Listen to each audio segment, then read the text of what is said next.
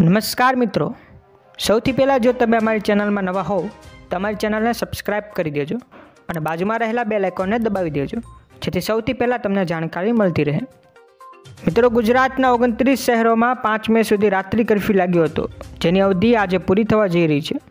તે બાબતને લઈને ગઈકાલે ગાંધીનગરમાં મુખ્યમંત્રી રૂપાણીએ બેઠક યોજી હતી, જેમાં હવે છત્રીસ શહેરોમાં છ મેથી બાર મે સુધી નવા નિયંત્રણો સાથે રાત્રિ કર્ફ્યુ લગાવવાનો નિર્ણય કર્યો છે.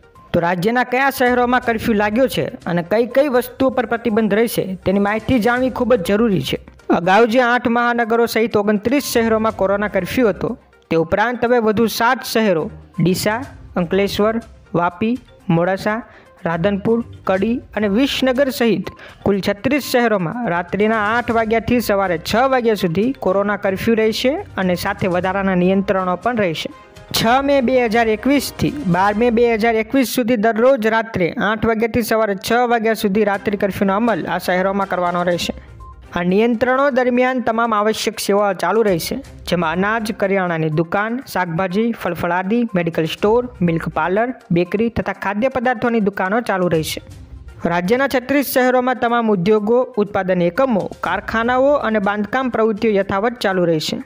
ખાનગી તેમજ સરકારી ઓફિસોમાં પચાસ ટકા સ્ટાફની હાજરી અનિવાર્ય છે, જેમાં ફરજિયાત માસ્ક અને સોશિયલ ડિસ્ટન્સના નિયમોના પાલન સાથે કાર્ય કરવાનું રહેશે. નિયમોના ભંગ કરનારી ખાનગી ઓફિસો સામે કડક કાયદેસરની કાર્યવાહી કરવા મુખ્યમંત્રી શ્રીની સ્પષ્ટ સૂચના આપવામાં આવી છે.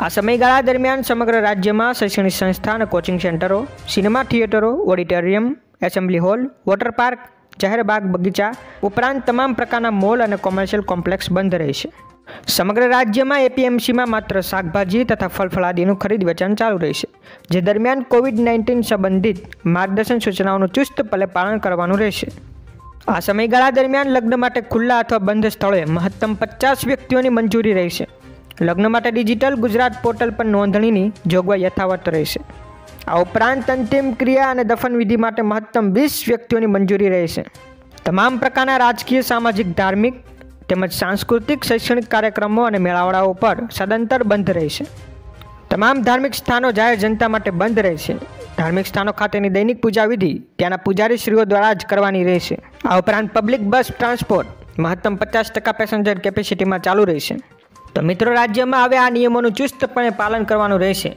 નહીં તો કડક કાર્યવાહી કરવામાં આવશે.